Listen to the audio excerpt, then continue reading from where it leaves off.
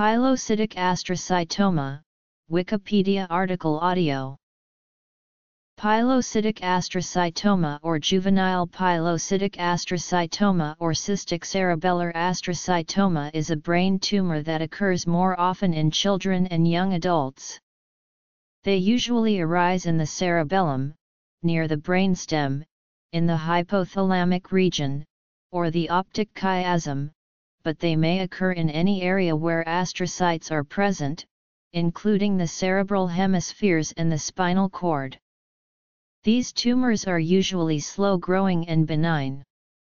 The neoplasms are associated with the formation of a single cyst, and can become very large. Symptoms Pilocytic astrocytomas are often cystic, and, if solid, tend to be well circumscribed. It is characteristically easily seen on computed tomography and magnetic resonance imaging. Juvenile pilocytic astrocytoma is associated with neurofibromatosis type 1, and optic gliomas are among the most frequently encountered tumors in patients with this disorder. The majority of pilocytic astrocytomas have a unique KIAA1549, BRAF fusion gene.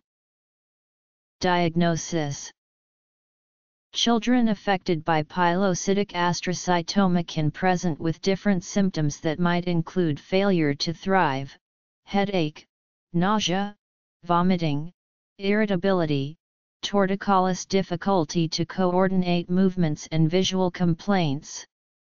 The complaints may vary depending on the location and size of the neoplasm. The most common symptoms are associated with increased intracranial pressure due to the size of the neoplasm.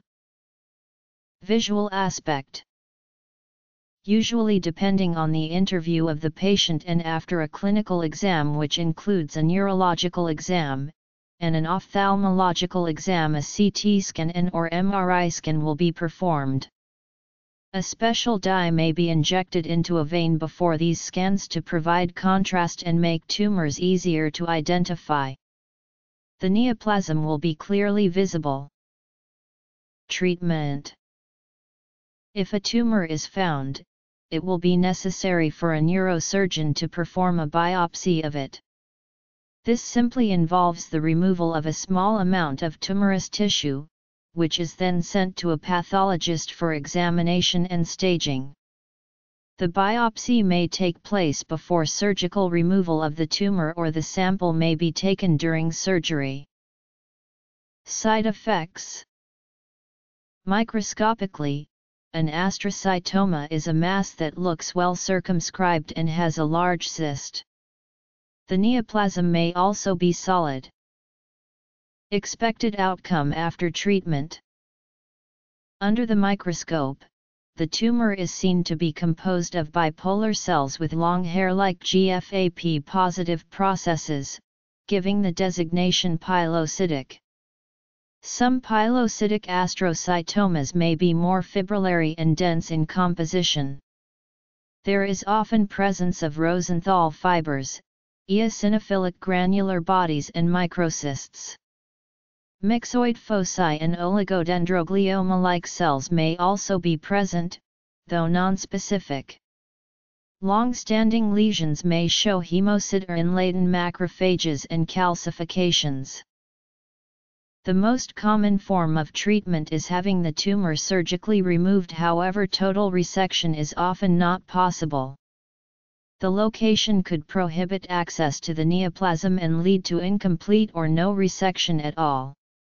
Removal of the tumor will generally allow functional survival for many years.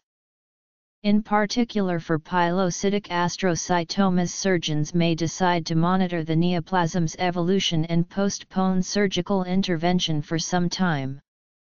However, left unattended these tumors may eventually undergo neoplastic transformation. Occurrence If surgery is not possible, recommendations such as chemotherapy or radiation be suggested however side effects from these treatments can be extensive and long-term. Children with cerebellar pilocytic astrocytoma may experience side effects related to the tumor itself depending on the location and related to the treatment. Strabismus Grade I pilocytic astrocytoma and cerebellar gliomas are not associated with recurrence after complete resection.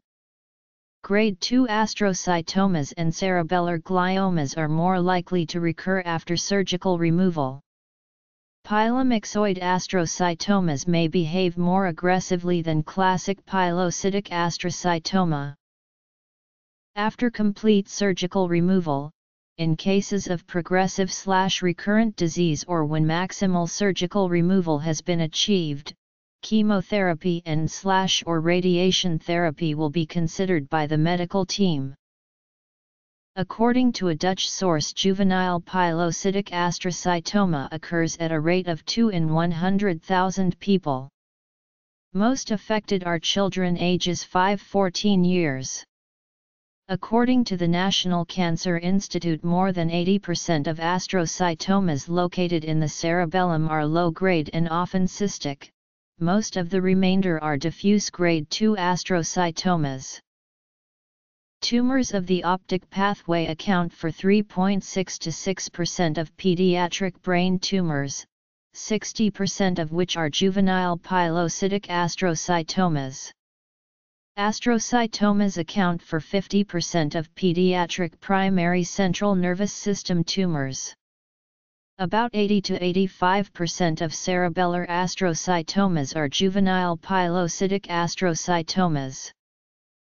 Recent genetic studies of pilocytic astrocytomas show that some sporadic cases have gain in chromosome 7q34 involving the BRAF locus. Histopathology of pilocytic astrocytoma H&E stain Original magnification 200x.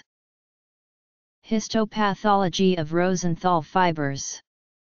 H&E staining showing these elongated eosinophilic structures in a case of pilocytic astrocytoma. Magnification 400x. Symptoms related to increased pressure in the brain often disappear after surgical removal of the tumor, effects on coordination and balance improved and might progressively disappear as recovery progresses. Steroid treatment is often used to control tissue swelling that may occur pre and post-operatively. Children can also suffer long-term side effects due to the type of treatment they may receive.